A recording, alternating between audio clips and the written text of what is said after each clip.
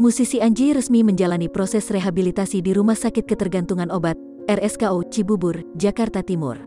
Pada hari ini, Jumat, tanggal 25 Juni tahun 2021, pihak kepolisian membawa Anji ke RSKO Cibubur untuk menjalani rehabilitasi.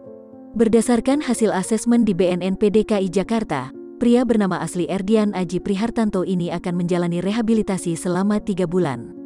Saat menuju mobil hendak pergi menjalani rehabilitasi, Anji tampak mengenakan baju tahanan dengan tangan di borgol.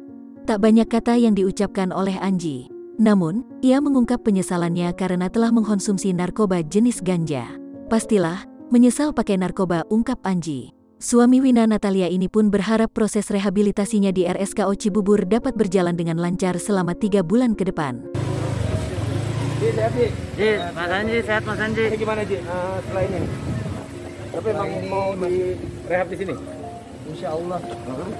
Tapi maksudnya tetap melanjutkan proses. Jadi kita doain semoga berjalan dengan baik.